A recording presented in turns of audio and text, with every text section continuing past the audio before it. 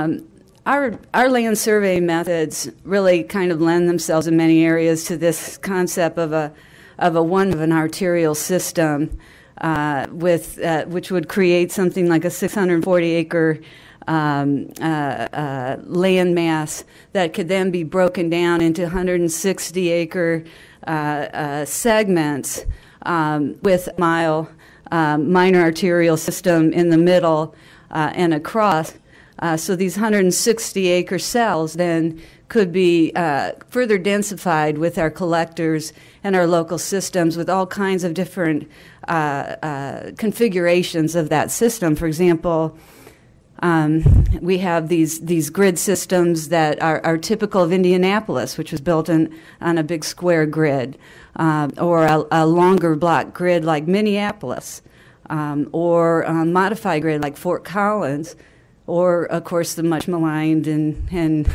widespread loops and cul-de-sacs that are more typical of the of the more current development. And so we see really in our urban areas a whole range of these network patterns, um, and with the older ones being being more of the grid pattern.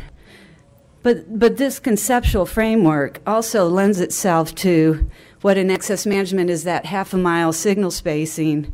that is really efficient for progression and it gives you flexibility to coordinate your signal systems uh, for a variety of different volumes uh, at different times of the day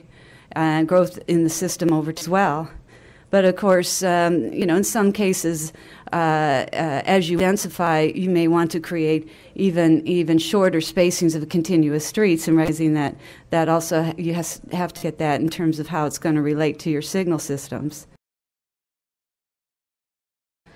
I think in the in the access manual, what we're looking at, what we think might be a logical uh, framework, uh, is is four lane major roadways at these one half mile spacing intervals, uh, versus at one mile, which can break down at the intersections very quickly.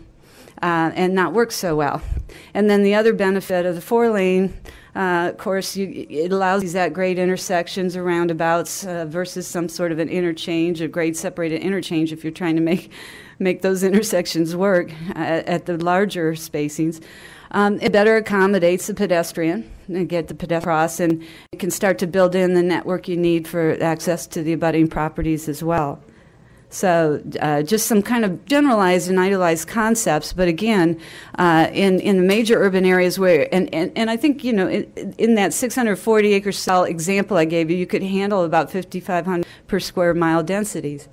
But the the if you're starting to densify, of course, you can either do uh, shorter spacings of your of your network, as I mentioned. You start to build in the transit systems and and create a little different of an urban environment.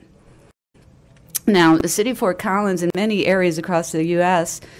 are beginning to create these master street plans, or have had them for some time, some, uh, or thoroughfare plans, where they can go in to create this network classify it, identify what the desired cross sections even might be in these areas and alternative cross sections that you might assign. Uh, what are the, the access spacing, signalized and unsignalized spacing criteria that we want to accomplish? Uh, which ones have turn lanes and medians, which ones uh, uh will not? Uh, and then building that into a regulatory right of way needs and preservation uh, as well as uh, the improvement process, improvement priorities and strategies uh, for the community. And it can really provide a good framework uh, for building out uh, the area. It's interesting to me, they also have uh, street network standards in Fort Collins, and uh, uh, what they had was a quarter mile signalized street spacing, uh, as, and, and, but also using the half a mile uh, as provided in the access management plans and standards for the state highway system.